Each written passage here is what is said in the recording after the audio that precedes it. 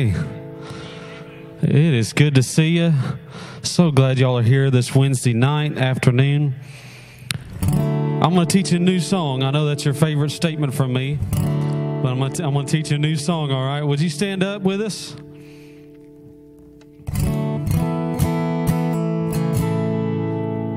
This song is very, uh, it may be a little different than what you've heard before, but it's still the same message.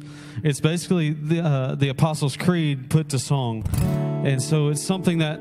Um, it should be something that you believe in. Hopefully, it is. But it simply says, I believe in God the Father. I believe in Christ the Son. I believe in the Holy Spirit, for He is three in one. All right. And so, uh, if you know it, sing along. If you don't, act like you do with a smile on your face. All right. Some of you get that later.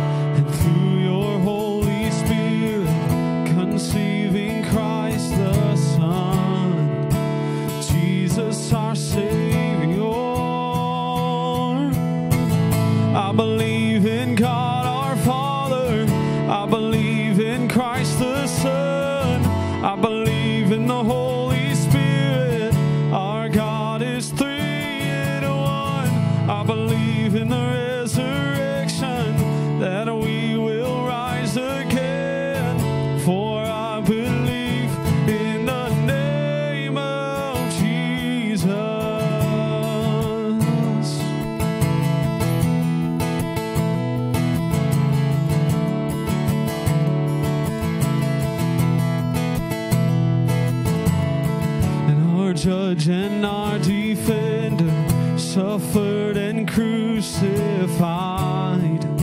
Forgiveness is in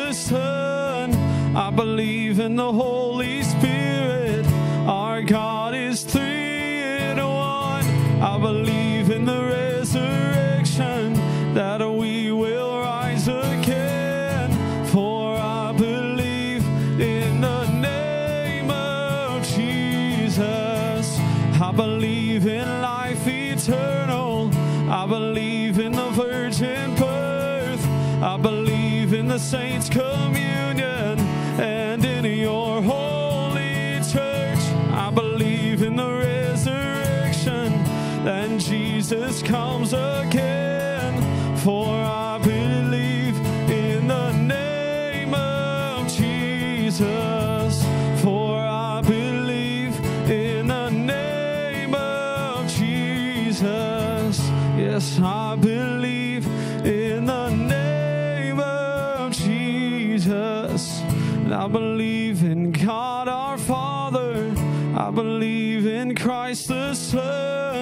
I believe in the Holy Spirit. Our God is three in one. I believe in the resurrection that we will rise again. For I believe in the name of Jesus. Father, we say that tonight with authority that God, we believe in you.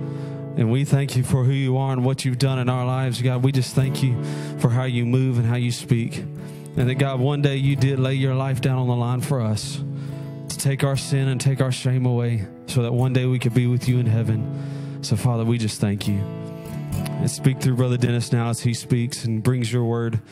And just, God, speak through him. We thank you for it in Jesus' name. Amen. Amen. All right. Hold on to your seats and turn to Revelation, the 19th chapter. Revelation 19. Well, usually when I get to chapter 19, I always like to preface this by saying if you have struggled at all through the first 18 chapters of Revelation, then I've got some good news for you tonight. Really got some good news tonight. Because when you come to the 19th chapter of Revelation, here's the good news the struggles are now over. And now the shouting is about to begin.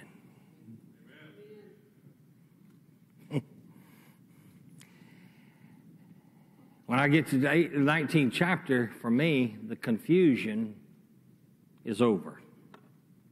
All the confusion is now behind us. And now it's time for celebration to begin. This is the biggest event that I believe that we as saints are looking forward to yet in the future. You ever, has there ever been a time in your life there's an event that, you know, it's a few weeks out or it's a few months away or, you know, there's been times when I've planned things and we still got a year. And boy, the closer we get to that day, the anticipation it just begins to build. I was kind of that way a few weeks ago, anticipating our Liberty Celebration Sunday. Boy, and when I was about to explode before the day got here. I, I was just looking forward to it. You're not going to believe this, but I'm just about to pop now because football kicks off in about eight weeks. I'm just, uh,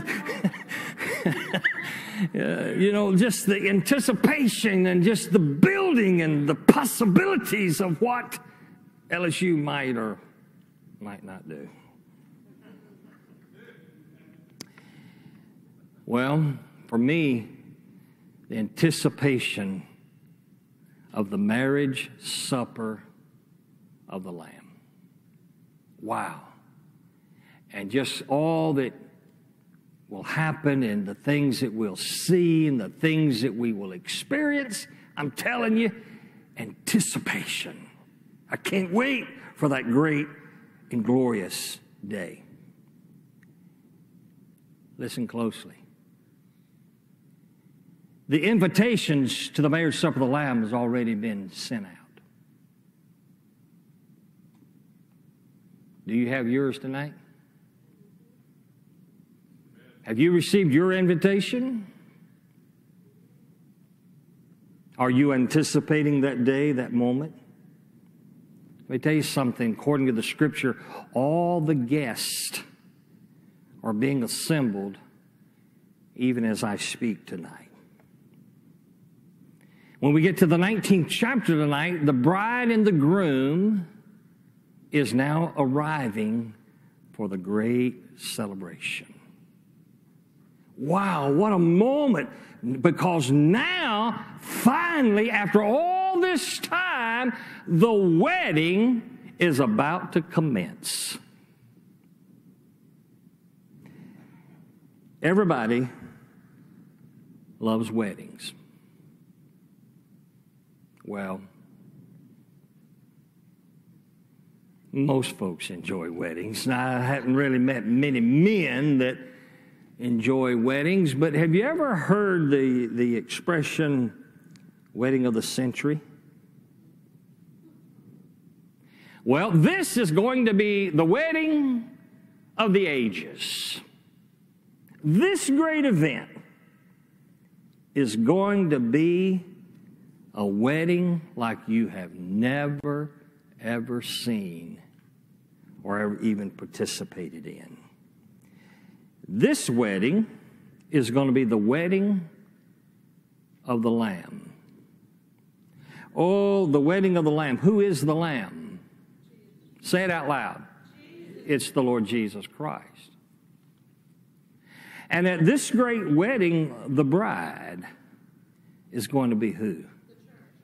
The body of Christ. So I ask this question how many brides do we have in the house tonight? Now, friend, listen to me, that's not a female thing. If you've been born into the family of God, you're part of the bride. Amen. We are the bride. Now, before, now I know you've never seen this before, but you will tonight. Generally, you go to the wedding and the celebration follows. But this great event, the celebration, comes first. And then the wedding. That's good for me. Because I love to eat. huh? Oh, Lord. Let's don't talk about ice cream tonight. Let's read it for a few moments in the 19th chapter. And I want to begin in verse 1 and read through to verse 10. After these things, I heard a loud voice of a great multitude in heaven saying, Alleluia. Salvation and glory and honor and power belong to the Lord our God. For true and righteous are his judgments because he has judged the great harlot who corrupted the earth with her fornication. And he has avenged on her the blood of his servants shed by her. Again, they said, Alleluia. Her smoke rises up forever and ever. And the 24 elders and the four living creatures fell down and worshiped God who sat on the throne, saying, Amen, Alleluia. And then a voice came from the throne saying, Praise our God, all you his servants, and those who fear him, both small and great. And I heard, as it were, the voice of a great multitude, as the sound of many waters, as the sound of mighty thundering, saying, Alleluia! For the Lord God omnipotent reigns. Let us be glad and rejoice and give him glory, for the marriage of the Lamb has come, and his wife has made herself ready. And to her it was granted to be arrayed in fine linen, clean and bright. For the fine linen is the righteous acts of the saints. And then he said to me, Write blessed are those who are called to the marriage supper of the Lamb.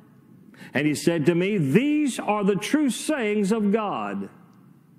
And I fell at his feet to worship him. But he said to me, See that you do not do that. I am your fellow servant and of your brethren who have the testimony of Jesus. Worship God. For the testimony of Jesus is the spirit of prophecy. Let's stop there. So, everything thus far, up through the 18th chapter, is now been the preparation to get us ready for the 19th chapter. This is so fitting because we talked about it Sunday. Thus far, we've seen some, in the beginning parts of Revelation, we saw some good things, but then we've, boy, we've seen a lot of rough things. But isn't it amazing how all the good and all the bad, and God can put it all together? And now we're fixing to celebrate. It's going to be a glorious day, folks, when we arrive at the marriage supper of the Lamb. You say, What is the marriage supper of the Lamb? Well, it is the celebration that actually takes place in heaven where the bride and the groom will be united together forever and forever. Now, I've already said this, but the bride is the church. And the groom is King Jesus. Now, the Bible does not at all describe the marriage ceremony. That's one of those details that's been left out. I have no clue what the actual marriage ceremony is going to be like. What God does share with us is the celebration. Or we call it, when we go to weddings, the reception. And the Bible describes it in almost incredible detail. So that celebration is referred to as the marriage supper of the Lamb. So, are you ready? Let's let the celebration begin now. Let's peek over, just have a little peek tonight of what you and I, every one of us, every man, every woman, every young person, regardless of how you were raised, regardless of what your ideas might be, I'm going to show you tonight in the scripture how we are going to celebrate in the very near future. And the celebration begins with the praise of or from the saints. It begins with praise from the saints. Now, let's consider this praise for just a moment. There's several things that I want you to see. Because let me let me let me begin this by saying this. there are a lot of people today, there are a lot of Christians today who find it difficult to express praise unto the Lord. But I'm going to show you something that all of us are going to do in the future. Verse 1, we see the period of praise, the period of praising. Verse 1 says, After these things. After these things, there's going to be praising. After what things? Well, if you go back to Revelation chapter 1 and read through, he's talking about after the rapture of the church. After all of the bloodshed has concluded, after the mark of the beast has already been given out, after the persecution uh, of the church, after the collapse of the devil's monetary system, after the devil's collapse of the world government and, and even the, the worldwide church. Watch this. John says, after all of those things, after all of that is over, then celebration will begin. Hallelujah. Now, who's going to be involved in all this praising? Who's going to be involved in it? Look again at verse 1. John says, he talks about the people of the praising. He says, I heard a loud voice. What does verse 1 call it? What does he say? Of a great what? Multitude. Now, who will this great multitude be? Who will be the actual ones that will be praising the Lord? Well, let me remind you we had a hint early on in our study. It goes back to the seventh chapter of Revelation, chapter 7, and verse 9. Here's the hint. Here's the people, here's going to be the ones praising the Lord.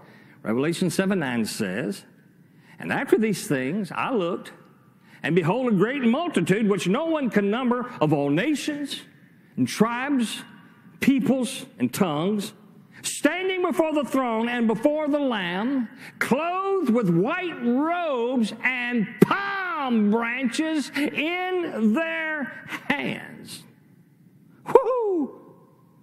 You know, not only are y'all going to be praising the Lord, but you're going to have palm branches. You're going to say, Worthy is the Lamb.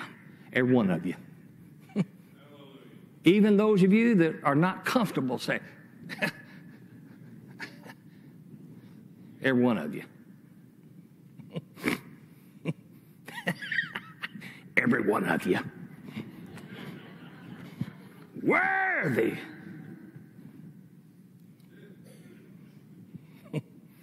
Never fails. I always have one comes to me at the close of service. Hey, I'm not. That's just not me. You're probably not because you're not going to be there.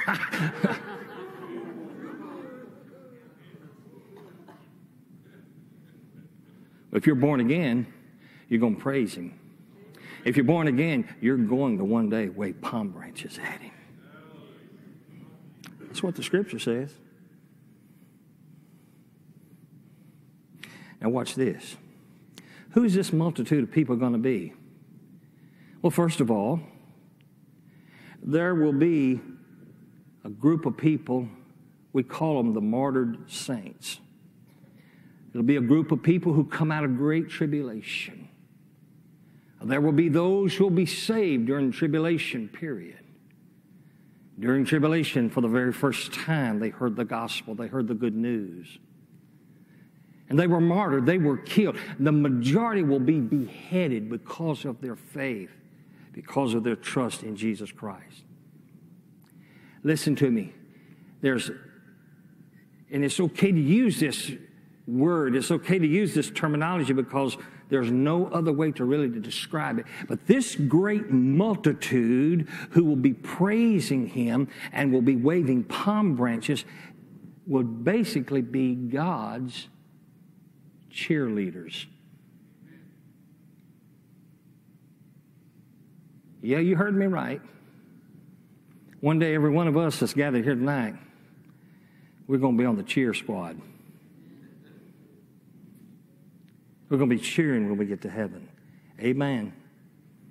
Now, perhaps, I don't know, maybe, Brother Jimmy will be leading the cheer. Can't y'all see Brother Jimmy?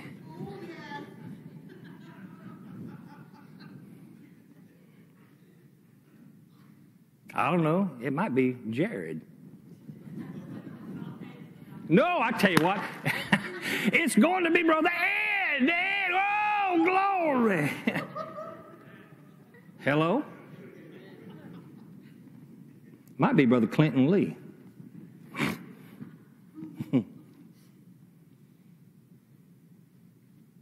Are y'all ready for that event? It's going to take place. Well, perhaps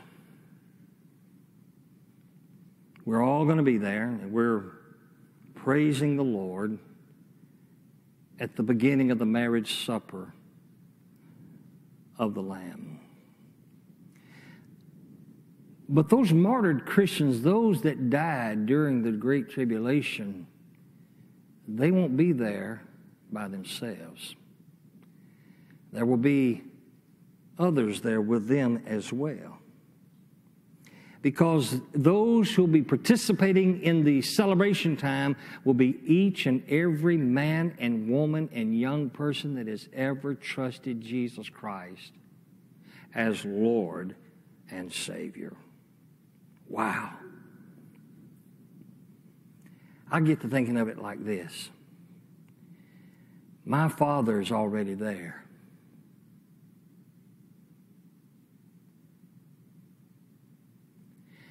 I believe that my dad is looking forward to the day when we'll all be back together and we're going to all join together in praising the Lamb of God.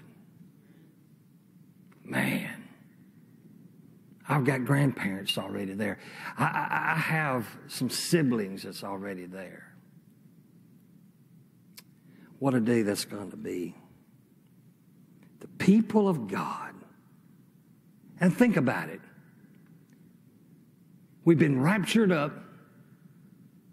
Tribulation is going on. And I have to believe that we're watching what's going on. And we've seen nearly seven years of horrible devastation.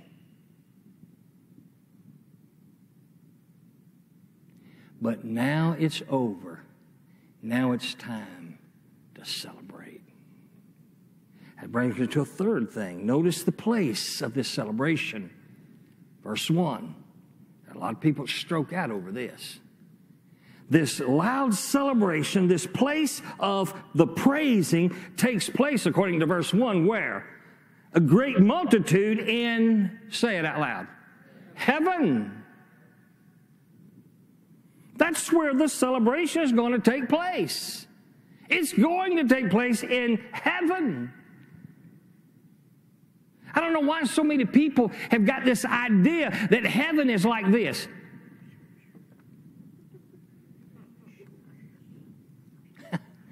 no, heaven is a noisy place. Did you know every time a person gets saved, the Bible says that 10,000 times 10,000 and thousands of angels, they all are rejoicing. They are. So the celebration is going to take place in heaven. Now, why is it going to take place in heaven? Because that's where all the saved folk are going to be. Did Jesus not say, I go to prepare a place for you. And if I go and prepare, prepare a place for you, I will come again, receive you unto myself, so that where I am, there you may be also. Jesus has gone to prepare that wonderful place for us. And it's going to be in that place one day where this great celebration is going to take place in heaven. I'm telling you, heaven one day is going to be rocking. It is. It really is. Not only do we see the period, the people, and the place, but notice what is the purpose of all this praise.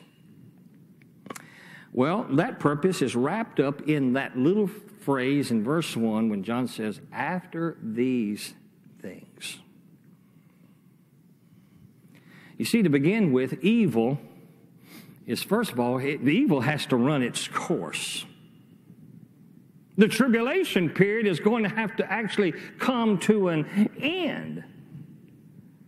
Now, Jesus is actually preparing for the return to this earth with you and I, with his saints, with his children. He's getting ready now to come back to the earth and set up his thousand year millennial reign on the earth. So, all that's about to take place. No wonder no wonder that praise is, is about to echo up and down the streets of gold in heaven because the bride and the bride and the groom, we're about to come together once and for all. I've often said, you know, one of the most difficult things in life is to be with somebody that you love and then have to tell them bye. I, I don't like, I'm not good at byes. You know, we, we, we, had our youngest daughter here last week, and so last Sunday, Penny has to take her back to um, Slidell to get on the train to go back to North Alabama. And I tell you what, I just couldn't say bye. That's a hard thing to do, to look at your baby and you don't know when I'm going to see her again. And I just don't like byes. Hello? Especially when there's a grandchild involved. I won't tell Brooks bye. Oh, the day's coming when we're going to see the groom. And we'll never be separated ever again. All the days coming when, because of this great wedding, that we're going to see our loved ones again. And we will never, ever, ever have to say, bye. Isn't that awesome? Isn't that wonderful, church? Come on. No wonder. No wonder there's so much praise. The anticipation is building. Woo! We're about to have a family reunion. Wow! We are about to have the wedding of all the ages. We're about to begin a party that a billion years from today is still going to be going on.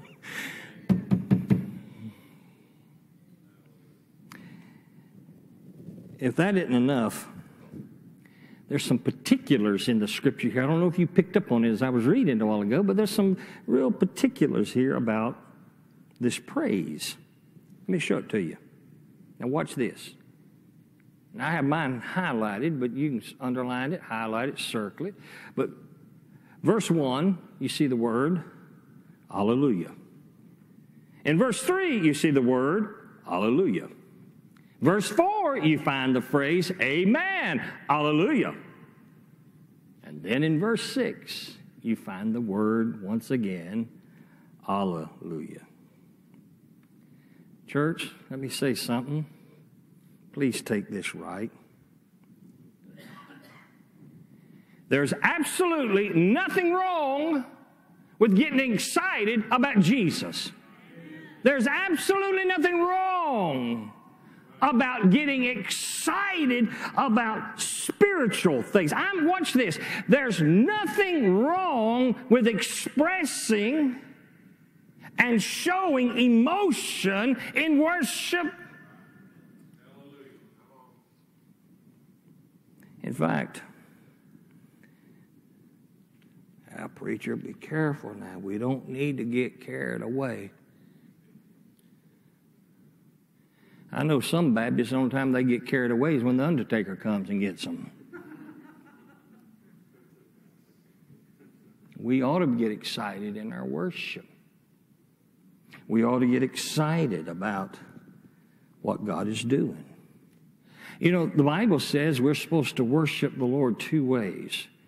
The scripture says we are to worship Him in spirit and truth. Is that not what the scripture says? Okay. We got it right, I think, as a church. We, we, have we've, we've got the, the truth down. We do worship Him in truth. But we still got a ways to go when it comes to worshiping Him in spirit. We got a ways to go. Hello. We do. We got a ways to go because, see, watch this. We got a ways to go. See there? We got a ways to go because we still struggle saying amen. We still struggle.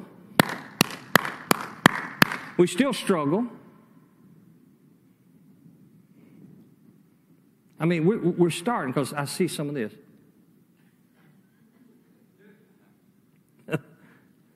we struggle. And you know what most people tell me? Well, I just wasn't raised like that.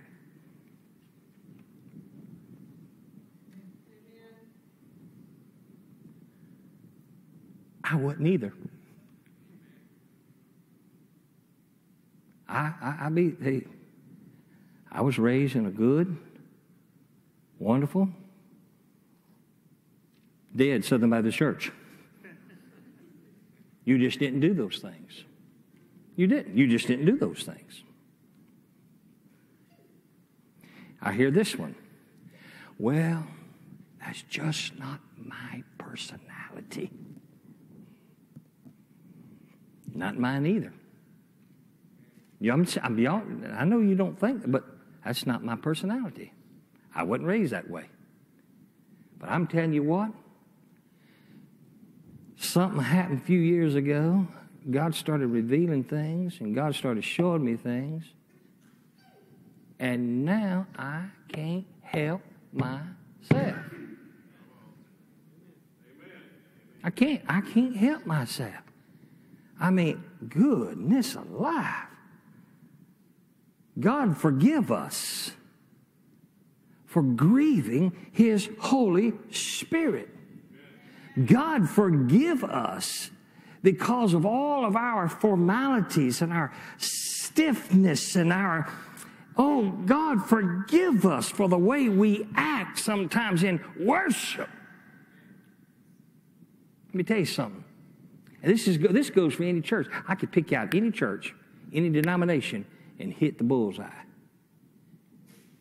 We are more respectful to people than we are to a holy God. We are. We're more respectful for, to people than we are a holy God. Let me prove my point.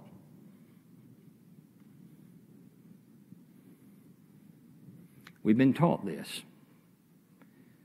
or at least I've been taught this, that the President of the United States is introduced and he walks into this very room out of respect to the man and the office that he holds. We stand up when the President walks in. Okay? Now, we did this two weeks ago. When those soldiers walked over there and picked that flag up and started, I stood up and put my hand across my heart. Because that means something to me. Hello? That means something to me. See that? See, you follow me? And I'll be the first to tell you when the flag, when the flags and the colors come into a room, if you don't stand, that's disrespect. Shame on you. I'm going to take it a step further. I don't care where I'm at. When I go to LSU football game, when the band plays the national anthem, I don't act a fool like a bunch of them do. I was paying tribute to my nation, to my country. Man, I get goosebumps when I hear the national anthem. Hello? So we do those things. And yet, a holy God can move in a service and show up in a mighty way. God anoints a song. God can anoint a message. God can anoint a testimony. The Holy Spirit can be moving, and people can be getting saved. And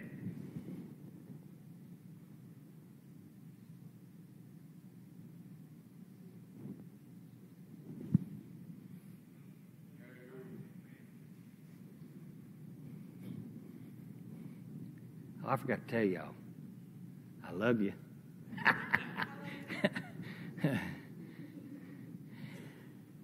mm. Now,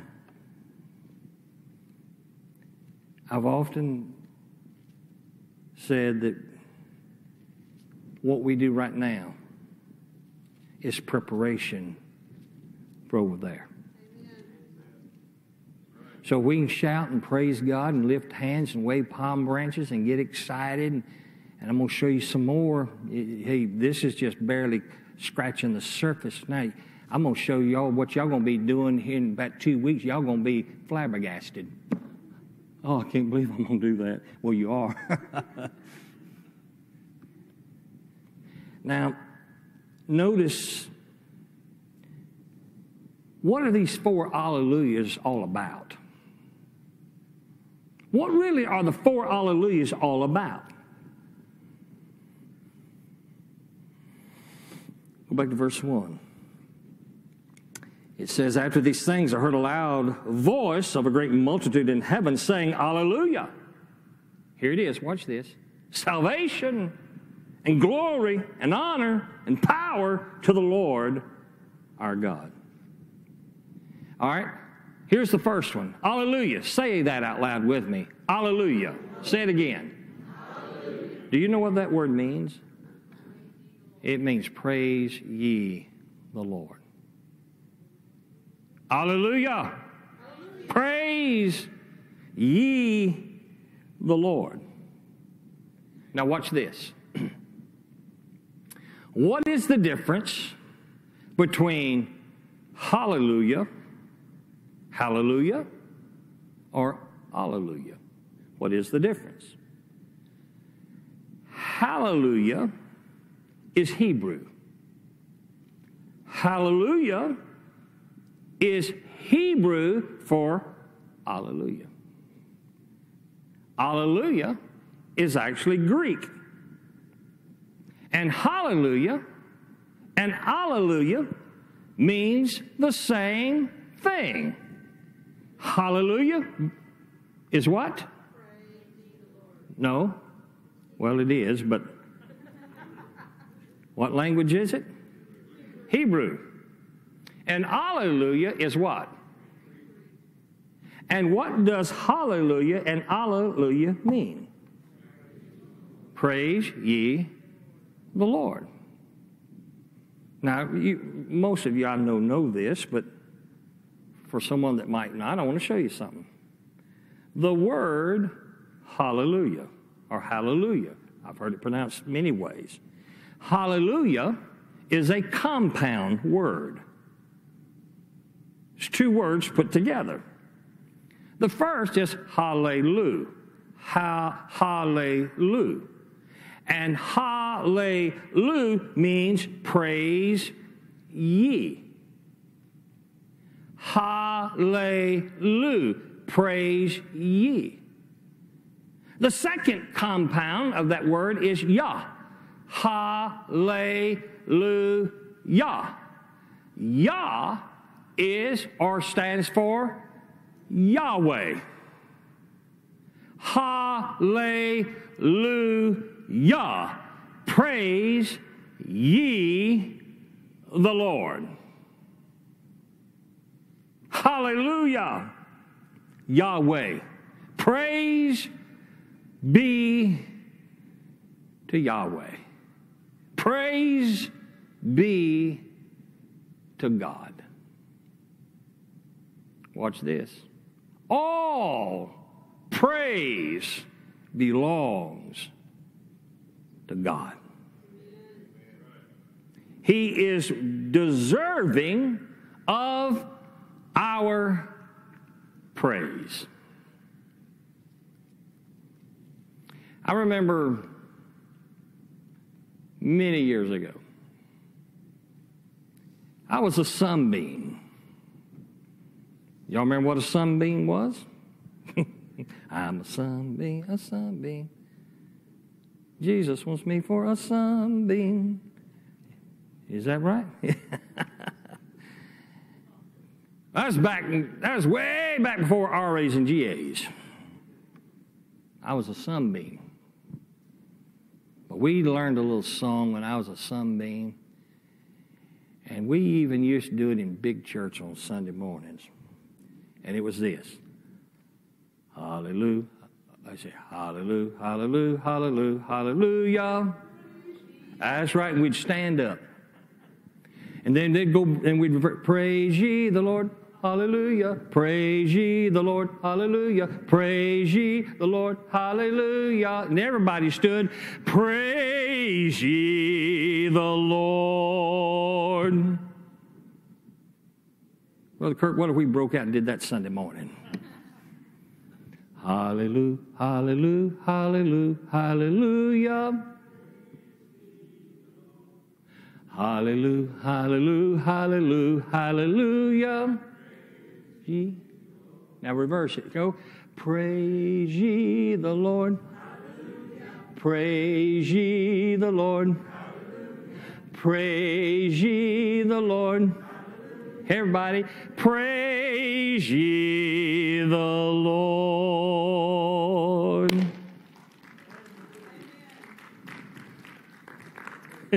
See, some of y'all even have a hard time clapping for that.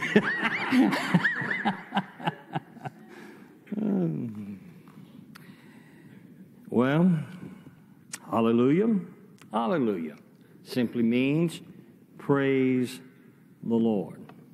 Now, something else. Verse 1 when John says, A great multitude in heaven saying, Alleluia. Guess what he uses there?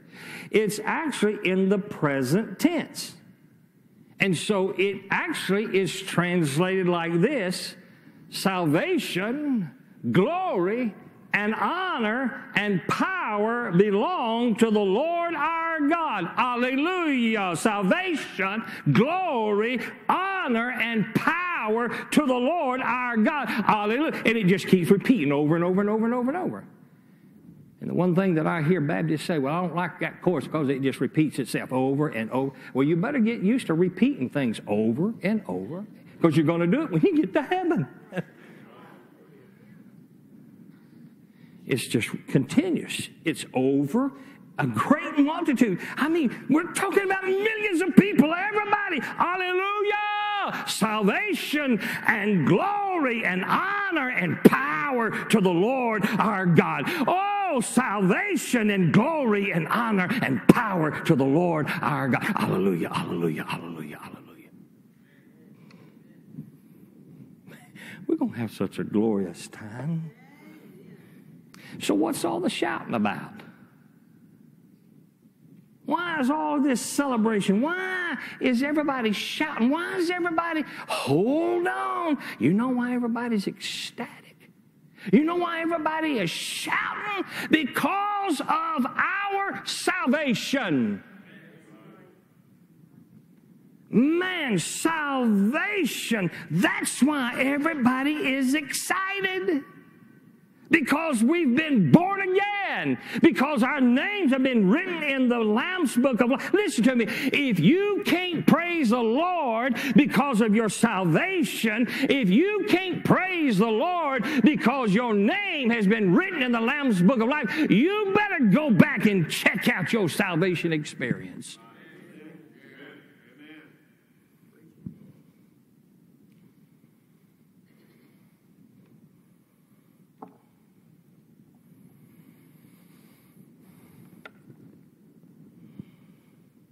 People that's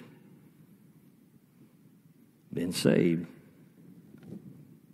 or people who love to praise the Lord.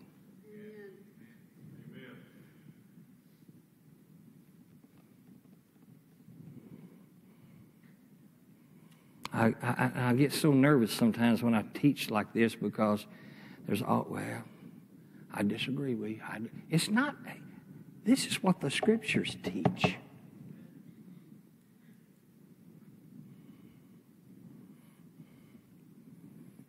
I can tell you one thing that's true of every one of us in this room. Everybody in this room, there's something in your life that you get excited over.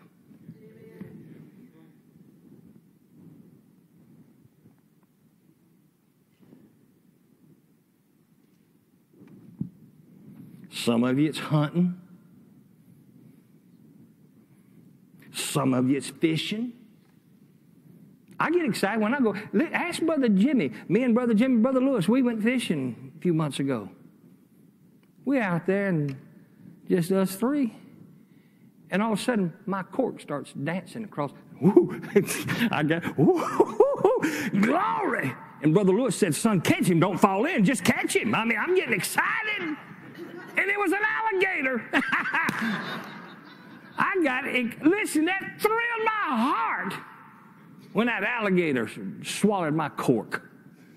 I was trying to get him in the boat. And I'm thinking, I had, I was rocking. What not Brother Jimmy? Brother, Brother Jimmy was there. He can't hear a word I'm saying.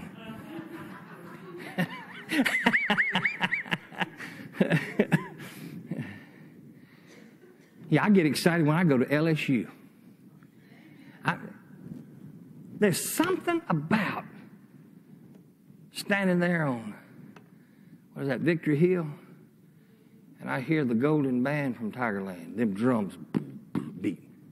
I get, man, I get antsy. I can't sit. I can't.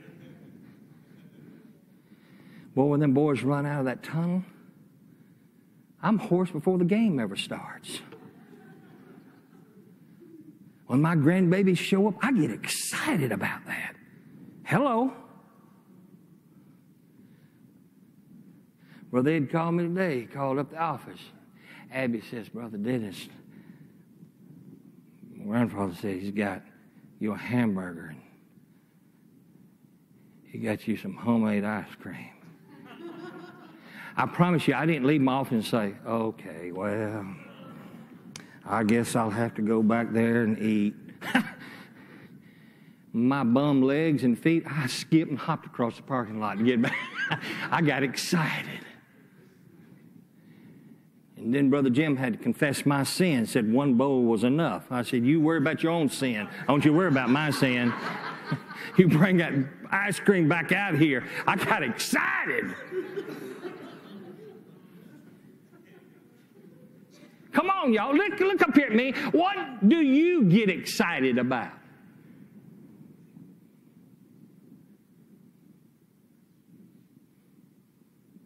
What do you get excited about? What causes your heart to skip beats and what causes your palms to get sweaty because you're just so excited?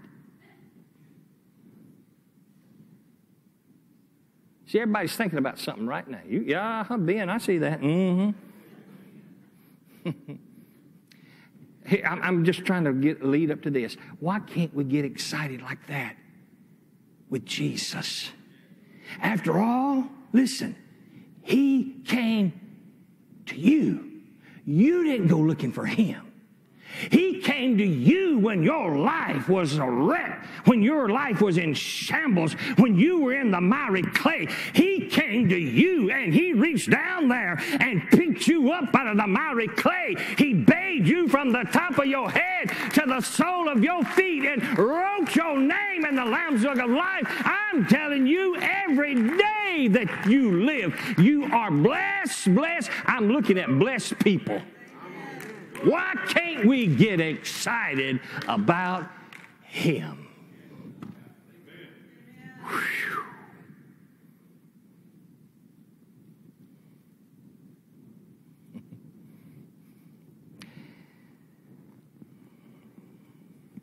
Hmm. You see what I'm saying? The first hallelujah is because we're saved. But there's a second hallelujah. Oh, it's getting deeper. There's another Alleluia. So there's the Alleluia for salvation, but then secondly, there's the Alleluia for settling up. There's going to be an Alleluia one day for the settling up. God is going to settle once and for all every account. God one day will judge every sin. One day, evil will be judged once and for all. One of these days, sin, my friend, sin is finally going to be repaid. You rock it down. Listen to me. Listen. No one will ever get away with sin. There is a payday someday. It's coming. It's coming. Your sin, one of two things. Your sin will either be forgiven by God or it will be judged in the pits of hell. It's that simple. Our sin will be forgiven by God or be judged by God when we spend eternity in hell. You will either be pardoned by Christ or you're going to be punished in hell. Friend, listen to me. There's no such place as purgatory. It's either heaven or it's hell. There's no in between. Amen?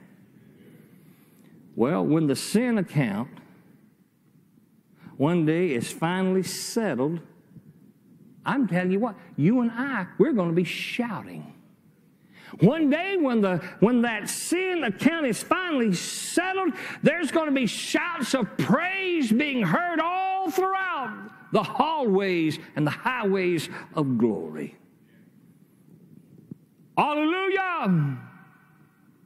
For true and righteous are his judgments. Wow. The day's going to come when we're going to say, Thank you, Lord. Thank you, Lord. Thank you that you died on the cross of Calvary. Thank you, Lord, that you shed your precious blood. Thank you, Lord, that you took care of my enemies. Wow. I mean, all of us, thousands, millions of us at one time. Woo! Thank you, God.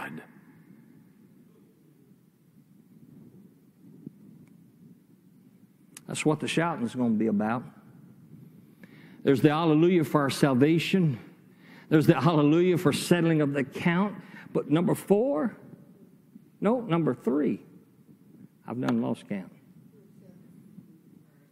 There's the hallelujah for God's sovereignty. There will be the hallelujah in that day for God's sovereignty. Look at verse 4. So the 24 elders and the four living creatures, they fell down and they worshiped God who sat on the throne, saying, Amen. That means what? So be it. Amen. Hallelujah. Whew.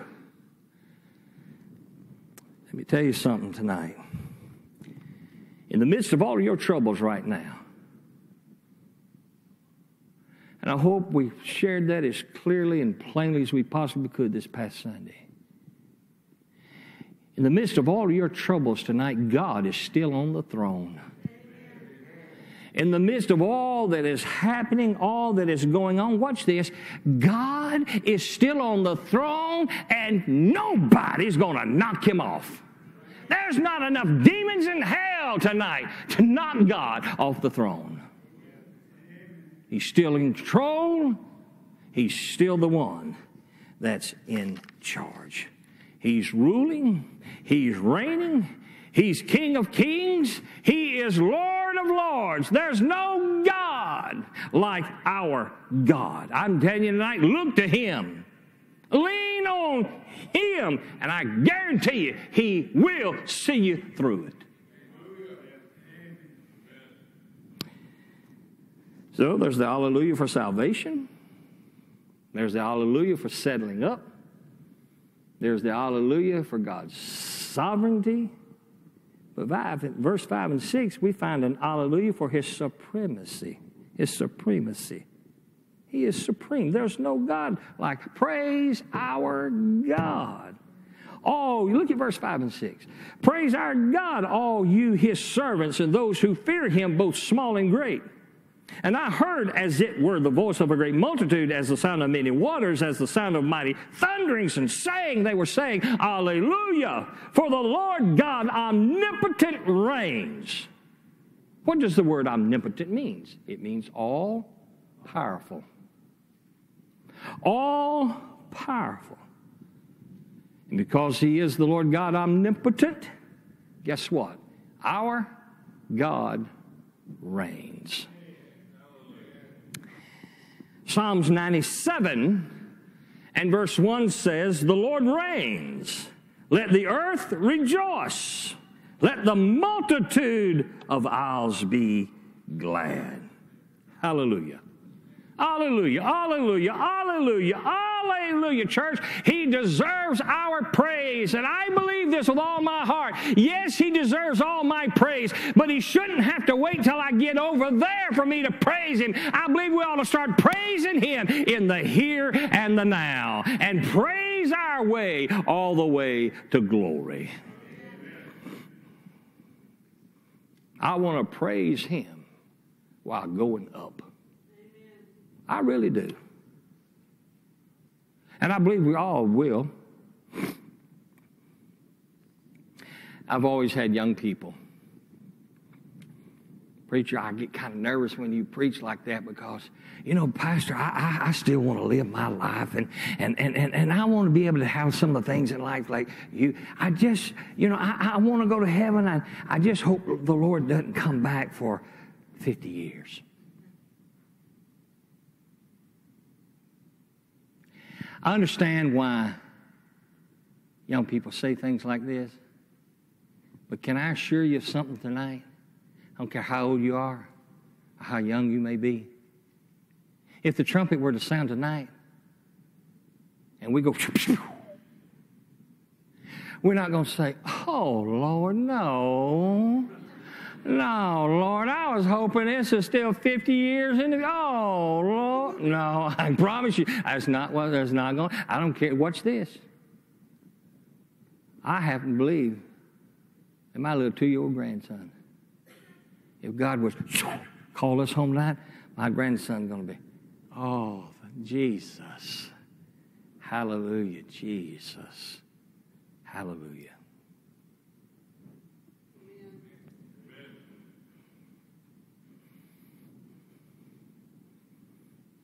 You ever thought about that? the funniest thing happened to me yesterday. Yeah, it wasn't too funny. I had to have a stress test. And because of my feet, my legs give me, I had a nuclear stress test. So they put me up on this couch. I was sitting up. and They hooked me all up. And they was telling me everything's fixing to happen to me. And they put this IV in me. And she said, now I'm fixing to put some nuclear. Boy, they brought this heavy thing and I couldn't believe they, it was nuclear. I'm thinking, well, I'm fixing to die. They fixing to put in my veins what runs the power plant up there in St. Francisville. anyway, she said, I'm going to I'm gonna inject this into your IV. And she said, You're going to feel hot. You're going to have a hot flash. You're going to feel what us women feel all the time. she You're going to have a hot flash. That's what she said. I didn't know what a hot flash was. I do now. And she said, Your heart's just going to immediately start racing.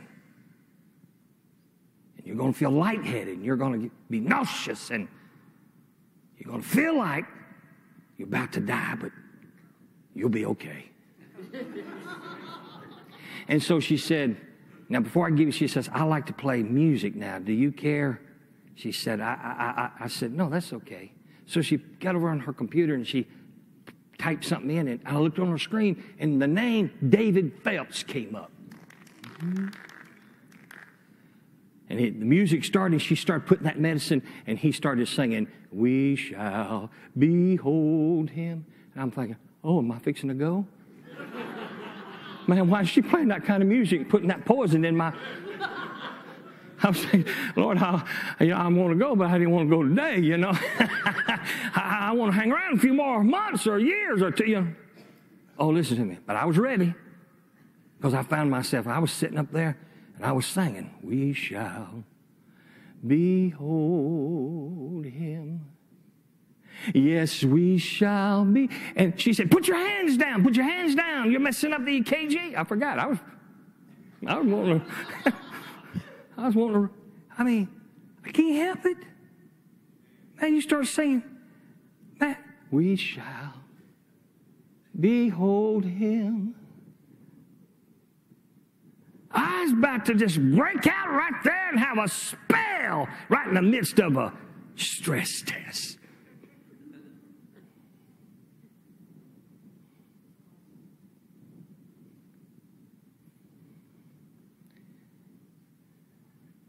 Are y'all ready to see him tonight? Amen. Now, I know I'm not trying to get up a train load to go to tonight. I'm just. Are y'all ready for that day? Now, wow. Can I tell you something? He delights in our praise. He even demands our praise. Now, let me close. Look at the preparation. With the celebration over, now the celebration is about to begin. The bride and the groom is fixing to be united forever. Now, let's look at a couple things that we're told about the wedding.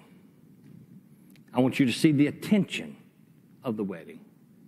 The attention of the wedding. Now, when weddings take place, who is it? Now, question, now watch this. Go with me for just a moment. Every time there's a wedding in the sanctuary, who is it that gets all of the attention? I'm listen, I've been preaching weddings for 30 years and I have never, and I've never understood this, I've never seen the people stand up when the groom walked in. I've walked out with every one of them. We'll walk out and everybody's still sitting. But you let that back door open up and that bride steps out, and guess what? Everybody in the church stand and they and they all turn around and look back there. And everybody, ooh, oh, isn't she gorgeous? And that's usually what I'm saying. That's the same girl that came to my office six months ago.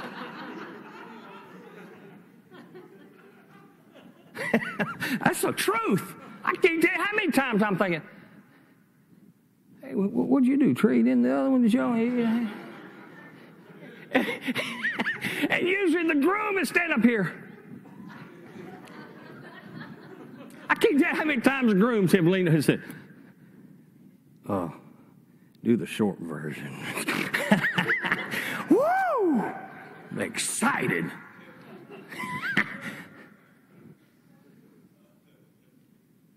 But now, watch this. Why do we stand up when the bride walks in? Could it be we stand in honor of the bride because we we understand how much the family had to pay for the wedding? no, no, I, I, no. You know why we stand up? Because she's the star of the show. Come on, that's, that's a fact. We stand up because she's the star of the. Watch this. Every wedding, the attention is on the bride. They could care less who stand up here by me. It's always the one that walks down the aisle. I want you to notice something. Pianos, organs, that's the cue. That's the cue for the bride. Here comes the bride. Dum, dum, dum, dum. But in that day, it's not going to be, here comes the bride. It's going to be, here comes the groom. It's all going to be reversed in that day. In that day, the attention's not going to be on the bride, but rather it's going to be on the bridegroom. Why not? He's the Lamb. Why not? He's the only one that could take away the sins of the world. Why not? Because he's the great I am. I'm t- he's the lion of the tribe of Judah. He is the bright and morning star. He's the Lord of heaven and earth and Lord of the universe. Why not? He's the one that died for me. He's the Son of the living God. My, my, my, my, my, my, my. What a bridegroom. Amen, church. No wonder the attention in that day will actually be upon him. But then we're told about the apparel. I'm almost done. Verse 8 says, And it was granted unto and it was granted to her to be arrayed in fine linen, clean and bright, for the fine linen is the righteous acts of the saints. What's the bride supposed to wear at the wedding? She's supposed to wear a beautiful garment, a beautiful dress that's white. John tells us that we're going to all be wearing, listen to this. Here's what John says about us we'll be wearing garments of our own making. But did you notice that he described them like this? They will be clean and bright. Our garments in that day will be clean and bright. That ought not surprise us. You remember what Ephesians 5, verse 27 says that he might present to himself a glorious church, not having spot or wrinkle or any such thing, but that she should be holy and without blemish. When I look at the church today, mm, I don't see holy and I don't see white. I don't see without blemish. We're not very clean right now. We're not, church, let's be honest. We're not very clean right now. Oh, but one day we will be. One day the bride is going to be clean. Oh, listen to me. There's fixing to be a preparation. There's about to be a great preparation. Watch this. Listen to the detail. You and I are about to be caught up, cleaned up, and cheered up. You're about to be caught up, cleaned up, cheered up. In other words, your sin's going to be no more. He's going to clean us after He calls us up, and then you're going to be cheered up. You're going to have a smile on your face whether you want it or not. You're going to have a pep in your step whether you want to or not. Well, preacher, hold on now. I thought that when I gave my heart to Jesus, I automatically became the bride of Christ. Listen, don't miss this. I thought I was already the bride of Christ. The answer is well, yes, and no. Yes, and no.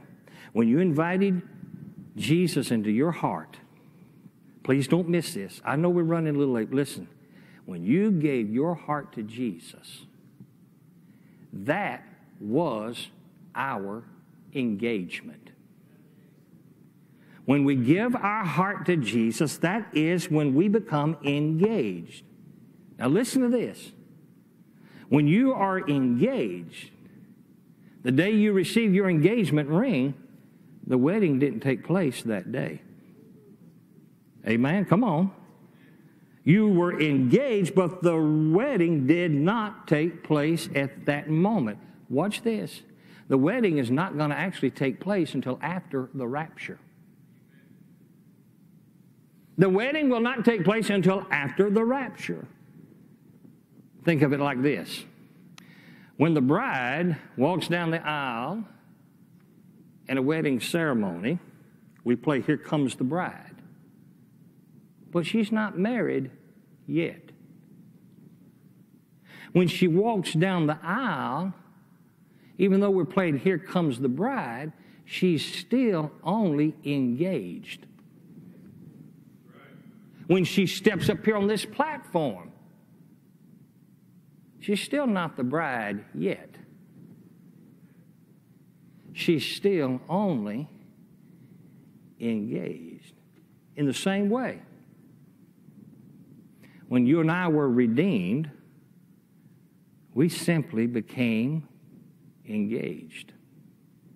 We are engaged tonight, but in that day, after the rapture takes place, there's going to be a great wedding celebration. Amen. Come on, church. That day is still yet to come. Wow. I can't wait for the great marriage celebration. Well, notice the apparel or the attendants. Verse 9 says, Who are called? Who will be the attendants? Who's going to be the guest at this great wedding? Who's the bridegroom going to be? Say it out loud. Who's the bridegroom? Well, you can't have a wedding without a bride, so who's the bride? Who will the guests be? It'll be everyone who's been born again. All the New Testament saints will be there. All of the Old Testament saints are going to be there. The Bible indicates that our Lord's friend John the Baptist is even going to be a guest. Why does it say that? Because John the Baptist died before the church came into existence. But Jesus said, He called him the friend of the bridegroom. Oh, there's going to be a lot of people there in that day. I look I like to think of it like this. There's John the Baptist, but there's all the Old Testament saints. There's going to be Matthew, Mark, Luke, and John, but guess what? Standing there, there's going to be Noah and Moses and Elijah. Wow, there's going to be Abraham, Isaac, and Jacob. There's old Adam and Eve. And the list just goes on. Can you imagine having to pay for a reception like that? Millions upon millions. Such a great multitude that you can't even begin to name it. But here's the most important question of all Will you be there? Will you be at the great marriage supper of the Lamb? I have this in my office and I want to show you the picture of what it could possibly look like the invitation. And sitting at the head of the table is the King of Kings and the Lord of Lords. And throughout eternity, there's your seat. There's your seat. There's my seat. Will you be sitting at the great banquet table? You know, I've always, when I first saw that picture, I said, Boy, I want that place sitting right there to the right. and I thought, Lord, forgive me. I'm sounding like Peter and John and talking about who's the greatest and who's going to. No. You know what? I believe that no matter where you sit at that great dinner table, you may be sitting a million miles away, but when you look, you're going to behold him. And I just got a feeling it's going to be like it's just you and Jesus sitting there Amen. all together. What a day that will be when my Jesus I shall see. Just to look upon his face. Wow. What a day that will be. And everybody said, let's just stop there.